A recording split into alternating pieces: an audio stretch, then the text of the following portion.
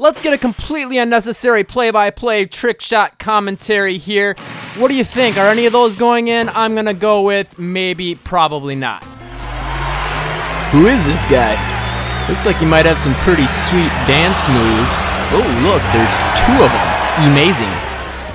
Is this gonna go in? What do you think? Of course it is. Come on. Did I make every single shot I attempted? Of course. What about this instant replay? Is that gonna go in? Yep. Pretty sure this is a regulation height hoop. And now enjoy this complimentary replay that's going to take about 10 minutes. So while we're waiting for the ball to land, let's talk about NBA predictions. Who you think's going to win Rookie of the Year? Who's going to win the title? Kevin Durant going to mesh with the Warriors?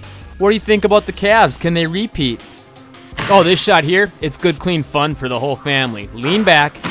What about this replay? You think this one's going in? I've got my doubts. Oh my gosh. Went in. Who would have thunk it? Here we go. Spin to win. Ball goes in. That was a little bit of a wrap there. Something I'm trying, something new. You guys might want to check out my new debut EP coming out. Round and round it goes. Where it ends, no one knows. Alright, that was kind of corny. Check this one out. Wait for it. Wait for it. Okay, wait some more actually. We got to do the slow motion replay. You'll see it. You'll see it. Just wait. Here it comes. Here it comes.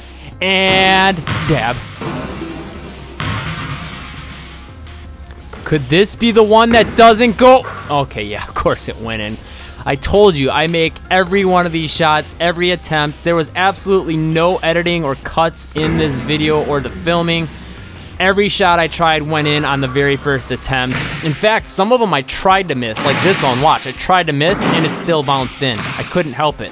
I don't know what it is. I think there might be a magnet in the basketball and like the rim kind of pulls it in because of the magnet. That might be what it is. You know what? I'm going to be 100% honest. I was kind of freaked out by the fact that every one of these shots kept going in. I, I don't know what it was. And like stuff like this, I don't even know where it came from. Watch this awkward run up to the basketball. I don't even know where some of these shots came from.